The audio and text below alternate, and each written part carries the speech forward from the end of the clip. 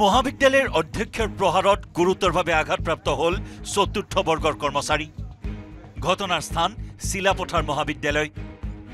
মহাবিদ্যালয়খনৰ অধ্যক্ষ ডক্টৰ লক্ষ্মীনাথ পেগুৱে একেখন মহাবিদ্যালয়ত কৰ্মৰত এগৰাকী চতুৰ্থ বৰ্গৰ মহিলা কৰ্মচাৰীক প্ৰহাৰ কৰাৰ গুৰুতৰ অভিযোগ উত্থাপন হৈছে। চতুৰ্থ বৰ্গৰ কৰ্মচাৰী মধু চাহু নামৰ মহিলাগৰাকীয়ে মহাবিদ্যালয়খনত নিজৰ কৰ্তব্য পালন কৰি থকাৰ সময়তে অধ্যক্ষ ডক্টৰ লক্ষ্মীনাথ পেগুৱে নিজৰ কাৰ্যালয়ৰ সন্মুখত গধুৰ ফাইলেৰে প্ৰচণ্ডভাৱে মূৰত প্ৰহাৰ কৰাত গুৰুতৰভাৱে আঘাতপ্ৰাপ্ত হোৱাৰ অভিযোগ উত্থাপন হৈছে। মহিলা কৰ্মচাৰীগৰাকীৰ মূৰ নাক আৰু মুখমণ্ডলত গুৰুতৰভাৱে আঘাতপ্ৰাপ্ত হৈ বৰ্তমান চিকিৎসাধীন হৈ আছে।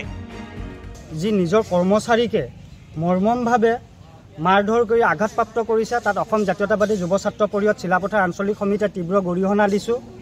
আৰু আপোনালোকে চাওক যিজন শিক্ষাগুৰুৱে নিজৰ কৰ্মচাৰীকে মৰ্মমভাৱে মাৰপিট কৰি আঘাতপ্ৰাপ্ত কৰিব পাৰে তেওঁৰ পৰা ছাত্ৰ ছাত্ৰীয়ে কি জ্ঞান অৰ্জন কৰিব বা ছাত্ৰ ছাত্ৰীক তেওঁ কি জ্ঞান দিব গুৰুতৰভাৱে আঘাতপ্ৰাপ্ত মহিলাগৰাকীক চিলাপথাৰ আদৰ্শ চিকিৎসালয়ত ভৰ্তি কৰোৱা হয় যদিও উন্নত চিকিৎসাৰ বাবে ডিব্ৰুগড়স্থিত এ এম চি এইচলৈ প্ৰেৰণ কৰা হয়। ইতিমধ্যেই ভুক্তভোগী মহিলাগৰাকীৰ পৰিয়ালে অধ্যক্ষ ডক্টৰ লক্ষ্মীনাথ পেগুৰ বিৰুদ্ধে চিলাপথাৰ আৰক্ষী থানাত দাখিল কৰিছে এজাহাৰ। সমান্তৰালকৈ অধ্যক্ষৰ এই কাণ্ডৰ বিৰুদ্ধে এ জে ৱাই চি পিৰ ভগ্নী সংগঠন জাতীয় মহিলা পৰিষদৰ ধেমাজি জিলা সমিতিয়ে সাব্যস্ত কৰিছে প্ৰতিবাদ। কি কাৰণত এগৰাকী মহিলা কৰ্মচাৰীৰ ওপৰত চতুৰ্থ বৰ্গৰ কৰ্মচাৰীৰ ওপৰত তেখেতৰ কি এনেকুৱা ধৰণৰ কাম কাম কৰিলে যে তেখেতক এনেকুৱা ধৰণে তেখেতে মাৰধৰ কৰিবলগীয়া হ'ল যে তেখেতে ইমান দিন তিনি চাৰিদিন ধৰি তেখেতে চিকিৎসাধীন হ'বলগীয়া হ'ল? আমি আমাৰ জাতীয় মহিলা পৰিষদৰ ফালৰ পৰা এনেকুৱা এজন অধ্যক্ষৰ ওপৰত অতি শীঘ্ৰে আমি উচিত ব্যৱস্থা গ্ৰহণ কৰা আমি বিচা উম, কৰাটো বিচাৰিছোঁ আৰু কলেজত যদি অধ্যক্ষগৰাকী এনেকুৱা ধৰণৰ অশালীন ব্যৱহাৰৰ হয় গৰাকী হয় তেতিয়াহ'লে সেই স্কুলখনৰ শিক্ষাৰ্থীসমূহৰ ওপৰত কেনেকুৱা ধৰণৰ প্ৰভাৱ পৰিব? অধ্যক্ষ ডক্টৰ লক্ষ্মীনাথ পেগুক গ্ৰেপ্তাৰ কৰি দৃষ্টান্তমূলক শাস্তি বিহাৰ দাবী উত্থাপন কৰিছে দল সংগঠনে। ইতিমধ্যে ভুক্তভোগী চতুৰ্থ বৰ্গৰ কৰ্মচাৰীগৰাকীৰ পৰিয়ালে চিলাপথাৰ থানাত দিয়া গোচৰৰ ভিত্তিত তদন্ত আৰম্ভ কৰিছে আৰক্ষীয়ে। ধেমাজিৰ পৰা মন বিকাশ বৰগোহাঁইৰ report news eighteen Assam north east.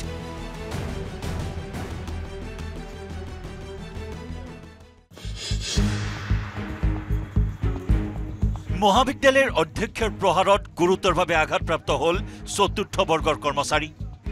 ঘটনাৰ স্থান চিলাপথাৰ মহাবিদ্যালয়। মহাবিদ্যালয়খনৰ অধ্যক্ষ ডক্টৰ লক্ষ্মীনাথ পেগুৱে একেখন মহাবিদ্যালয়ত কৰ্মৰত এগৰাকী চতুৰ্থ বৰ্গৰ মহিলা কৰ্মচাৰীক প্ৰহাৰ কৰাৰ গুৰুতৰ অভিযোগ উত্থাপন হৈছে। চতুৰ্থ বৰ্গৰ কৰ্মচাৰী মধু চাহু নামৰ মহিলাগৰাকীয়ে মহাবিদ্যালয়খনত নিজৰ কৰ্তব্য পালন কৰি থকাৰ সময়তে অধ্যক্ষ ডক্টৰ লক্ষ্মীনাথ পেগুৱে নিজৰ কাৰ্যালয়ৰ সন্মুখত গধুৰ ফাইলেৰে প্ৰচণ্ডভাৱে মূৰত প্ৰহাৰ কৰাত গুৰুতৰভাৱে আঘাতপ্ৰাপ্ত হোৱাৰ অভিযোগ উত্থাপন হৈছে। মহিলা কৰ্মচাৰীগৰাকীৰ মূৰ নাক আৰু মুখমণ্ডলত গুৰুতৰভাৱে আঘাতপ্ৰাপ্ত হৈ বৰ্তমান চিকিৎসাধীন হৈ আছে। যি নিজৰ কৰ্মচাৰীকে মৰ্মমভাৱে মাৰধৰ কৰি আঘাতপ্ৰাপ্ত কৰিছে। তাত অসম জাতীয়তাবাদী যুৱ ছাত্ৰ পৰিষদ চিলাপথাৰ আঞ্চলিক সমিতিয়ে তীব্ৰ গৰিহণা দিছোঁ।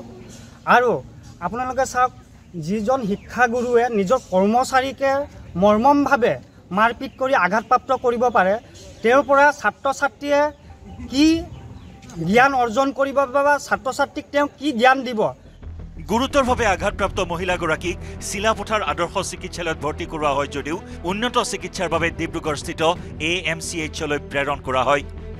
ইতিমধ্যেই ভুক্তভোগী মহিলাগৰাকীৰ পৰিয়ালে অধ্যক্ষ ডক্টৰ লক্ষ্মীনাথ পেগুৰ বিৰুদ্ধে চিলাপথাৰ আৰক্ষী থানাত দাখিল কৰিছে এজাহাৰ।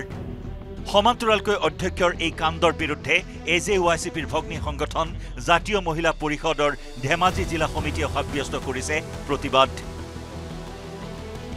কি কাৰণত এগৰাকী মহিলা কৰ্মচাৰীৰ ওপৰত চতুৰ্থ বৰ্গৰ কৰ্মচাৰীৰ ওপৰত তেখেতৰ কি এনেকুৱা ধৰণৰ কাম কাম কৰিলে যে তেখেতক এনেকুৱা ধৰণে তেখেতে মাৰধৰ কৰিবলগীয়া হ'ল যে তেখেতে ইমান দিন তিনি চাৰিদিন ধৰি তেখেতে চিকিৎসাধীন হ'বলগীয়া হ'ল? আমি আমাৰ জাতীয় মহিলা পৰিষদৰ ফালৰ পৰা এনেকুৱা এজন অধ্যক্ষৰ ওপৰত অতি শীঘ্ৰে আমি উচিত ব্যৱস্থা গ্ৰহণ কৰা আমি বিচা উম, কৰাটো বিচাৰিছোঁ। আৰু কলেজত যদি অধ্যক্ষগৰাকী এনেকুৱা ধৰণৰ অশালীন ব্যৱহাৰৰ হয় গৰাকী হয় তেতিয়াহ'লে সেই স্কুলখনৰ শিক্ষাৰ্থীসমূহৰ ওপৰত কেনেকুৱা ধৰণৰ প্ৰভাৱ পৰিব? অধ্যক্ষ ডক্টৰ লক্ষ্মীনাথ পেগুক গ্ৰেপ্তাৰ কৰি দৃষ্টান্তমূলক শাস্তি বিহাৰ দাবী উত্থাপন কৰিছে দল সংগঠনে। ইতিমধ্যে ভুক্তভোগী চতুৰ্থ বৰ্গৰ কৰ্মচাৰীগৰাকীৰ পৰিয়ালে চিলাপথাৰ থানাত দিয়া গোচৰৰ ভিত্তিত তদন্ত আৰম্ভ কৰিছে আৰক্ষীয়ে। ধেমাজিৰ পৰা মন বিকাশ বৰগোহাঁইৰ report news eighteen Assam north east.